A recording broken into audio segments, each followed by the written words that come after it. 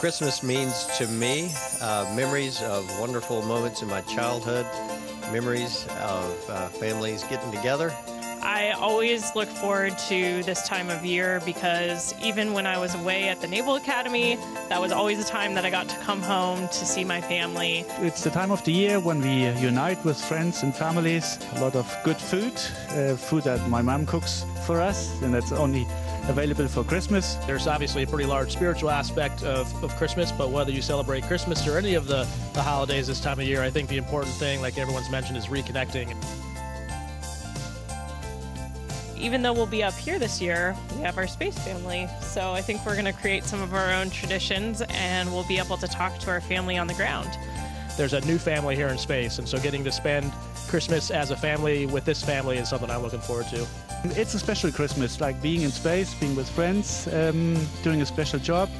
Actually, we could celebrate Christmas like, uh, I don't know, like 24 divided by 90 minutes, uh, like 16 times.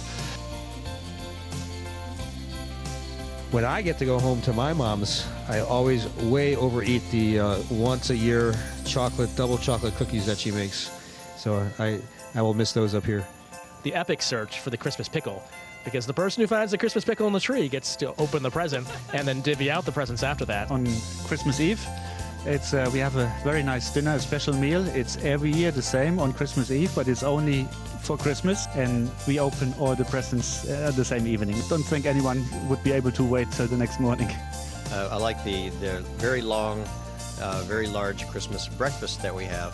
I think my favorite Christmas tradition is how my family decorates the Christmas tree. We would have basically a picnic for dinner, and we'll just spend a couple hours decorating the tree, competing for the best section to highlight their their ornaments that we would get every year.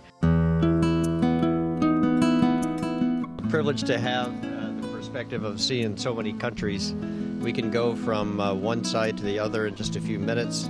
It truly gives us a feeling of unification for all human beings around the world. We get to see the sunrise uh, many times a day, so thinking about the fact that people are waking up to a new year each time we see that sunrise is going to be pretty cool.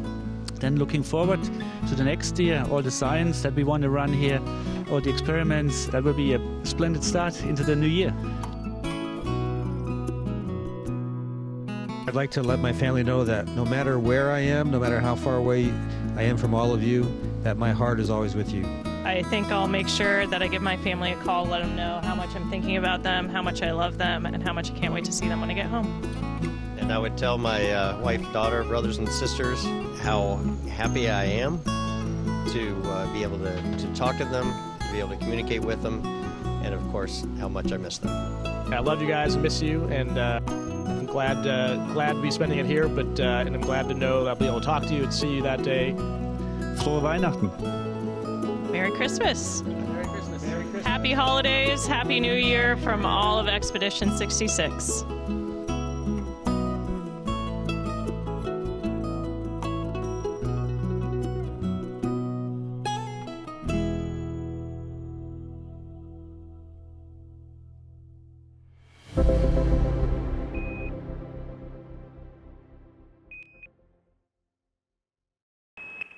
Subscribe for more space. space, space, space.